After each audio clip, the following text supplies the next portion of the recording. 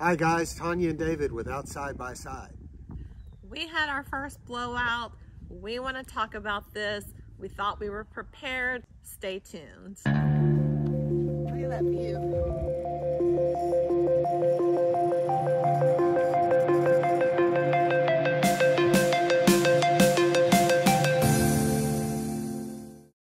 We just wanted to share with y'all a little bit of a horrific experience that we had on the way up here. We were on our way to Lockhart State Park for the weekend. Uh, the uh, tire pressure monitor went off and instantly we had a blowout and we had to pull over on the side of I-10. The, the traffic was 75 to 80 miles an hour and change out our flat. We immediately pulled over.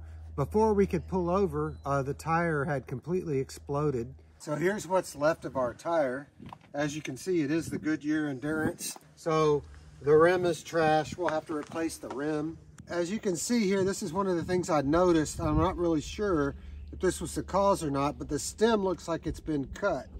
So I'm not sure if that happened before the blowout or if that happened after the blowout. But uh, anyway, that's one thing I did notice. So basically we're gonna have to try to find another rim. It's a very common rim, uh, especially that it's painted black. So that shouldn't be a big deal.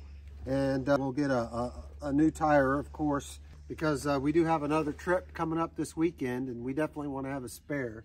So hopefully we can get all this together uh, before our next trip. The speed limit was about 75 miles an hour. We were able to get over on the right side and pull over on the shoulder.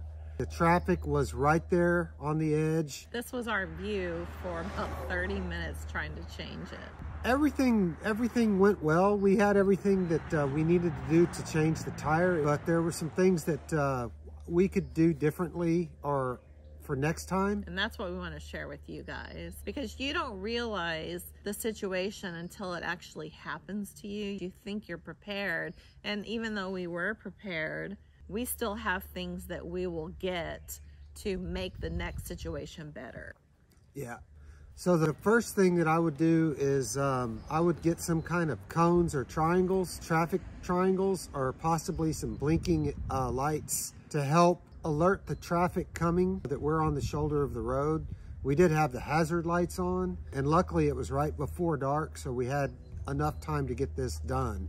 And while he was down on the floor changing the tire, I was standing there trying to direct traffic. So I was watching 18 wheelers come at me for about 30, 20, 30 minutes. So it was pretty scary because I didn't want him to be hit, get run over while I'm just in the truck watching this situation happen. So it really takes two people when you're on the side of the road to make sure that you're safe. So the cones are gonna be great to have. The next problem that I had was the bottle jack that we have, which works fine as long as you have air in your tire. But if your tire explodes and you're down on the rim, you can't get the bottle jack underneath the axle to jack up the wheel. So basically what we kind of had to do is we had to use some of our blocks uh, that we use for leveling.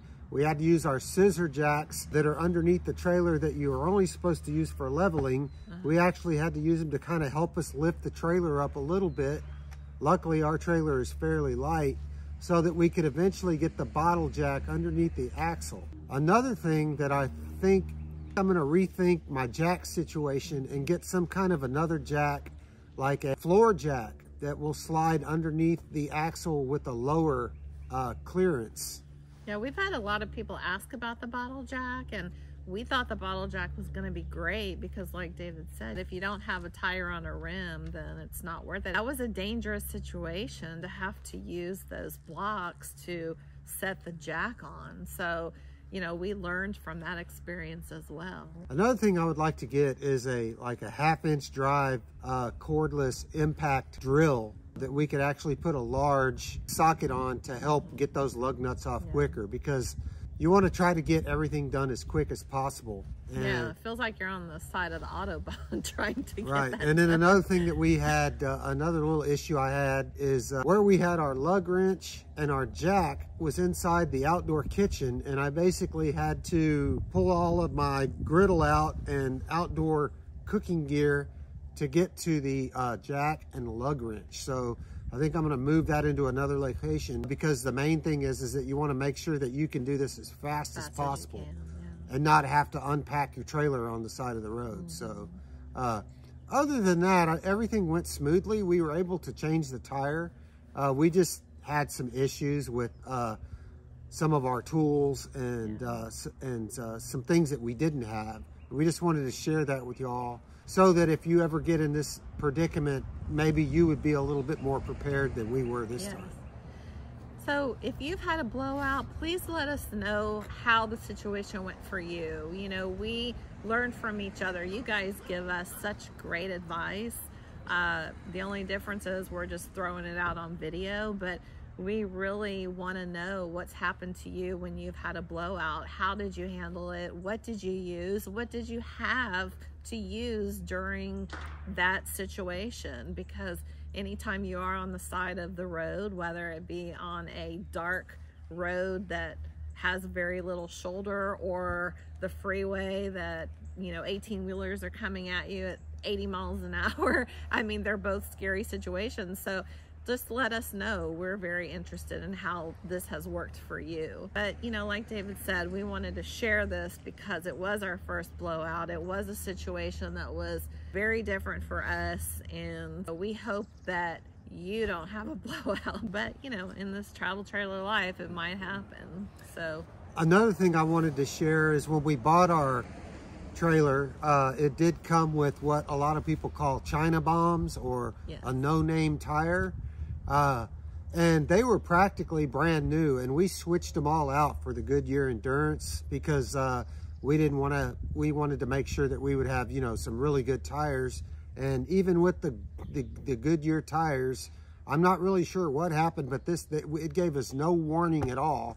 And it basically just uh, disintegrated on the rim uh, as we were driving. So uh, we did have good tires and they were fairly new. And I'm also very good about checking the tire pressure uh, before we leave, uh, especially the house after it's been sitting in storage for a while. So all of that was good. It was just, uh, I'm not really sure what caused it to blow out, if we ran over something or well, and what was interesting is that the terrain changed because there was like construction. Yeah, we did get into a fairly rough uh, area to where I think they had done some kind of resurfacing on the road, and it did start to get rough real, real quick. And uh, we noticed quite a bit of vibration, but we just thought it was the The road. road, yeah. But I think it ended up just being that the tire was just, uh, and the, the tire pressure monitor, it, it almost started beeping, and within a few seconds, uh, we were down on the rim. So it didn't give us uh, much warning. That's why I think it was more of a blowout. You know, and if you don't have a tire pressure monitoring system, we did a video, this video on our tire pressure monitoring system. However, we're not really that happy with it after using it. I think we're going to look for something else, especially something that has better visuals because every time we have to check it, um, David's trying to, there's no lighting during the day. It's great at night, but he's trying to check it while he's driving or I'm trying to check it. So it's not a very good system that we want for long term. Uh, so if we do find another tire pressure monitoring system, we'll let you know. Once again, we thank you for watching our video and please share with anybody who's in the travel trailer life because it is great when we can collaborate together on experiences. Please don't forget to like our videos, subscribe to our channel. That really helps get our information out. Again, we thank you, we appreciate you, and hope you guys have a wonderful week. Thanks for watching. Bye.